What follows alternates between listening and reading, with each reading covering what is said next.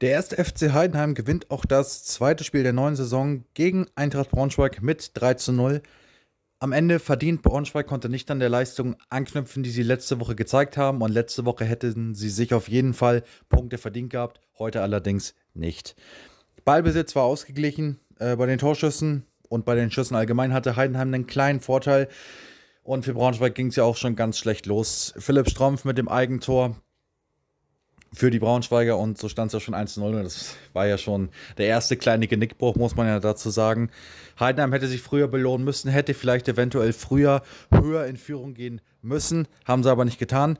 So haben sie es halt in der zweiten Halbzeit geregelt. Sind in der 61. durch Tim Kleindienst haben sie auf 2 0 gestellt und dann in der 89. durch Kevin Sesser den 3 0 Endstand erzielt ja, was kann man sagen? Heidenheim in den ersten beiden Spieltagen sehr, sehr stark. 4 zu 0 Tore. Gut, es waren nur zwei Spieltage, aber bisher spielen sie einen sehr, sehr guten Fußball. Die harten Gegner kommen zwar noch, aber Braunschweig hat heute nicht annähernd den Biss gezeigt, den sie noch am ersten Spieltag hatten. Und Heidenheim, ja, marschiert im Moment. Und ja, Heidenheim will natürlich jedes Jahr aufsteigen. Und ich glaube auch, dass sie dieses Jahr gar nicht mal so schlechte Chancen haben. Mal sehen, wie sich der Trend weiter fortsetzt. Wie fandet ihr das Spiel? Schreibt es mir in die Kommentare. Daumen nach oben da lassen, abonnieren nicht vergessen. Ich würde sagen, wir sehen uns beim nächsten Video und ciao.